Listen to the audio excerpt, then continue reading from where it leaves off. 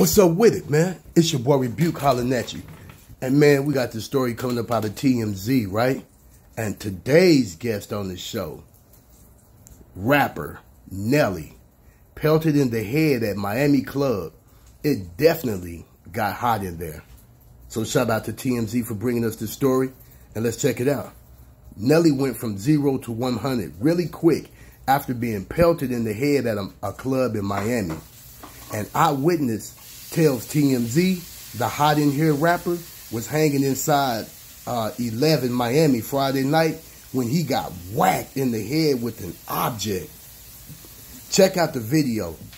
You see the object possibly an ice cube tossed by someone on the balcony. You then see Nelly triggered, ready to confront the culprit. Nelly grabs the back of his head and peers up before charging towards the balcony. Nelly's entourage and club security stepped in and prevented the situation from escalating. He was still able to enjoy the night once things cooled down. The rapper ended by doing a short performance, rapping throwback hits on stage. There was no slaps, no cops, just another night in the club. And so let's check out this video up here.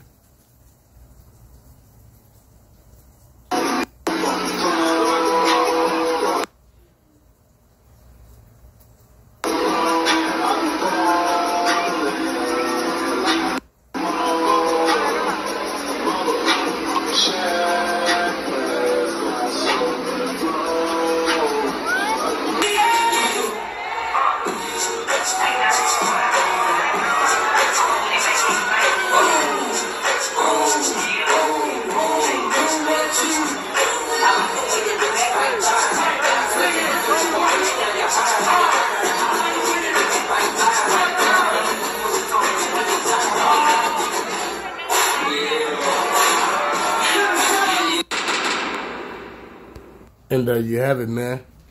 It don't look like Nelly was Nelly was hurt too bad. You know what I'm saying? He, you know, he kept it pushing, man. That was that was pretty whack, though, if you ask me. You know what I'm saying? If the man is there doing his job, let the man do his job. You know what I'm saying? And that's it. You know. But yeah, man, what y'all think about that, YouTube? Y'all think it was cool that Nelly got popped upside the head with an ice cube, or you think you know what I'm saying? That's something immature coming from probably another grown adult up in the club. You know. But uh, drop your comments down below, man. Don't forget to like, subscribe, and share. Don't forget to click on that notification bell. And I'll definitely catch y'all on the next episode. Shallow to the wisdom.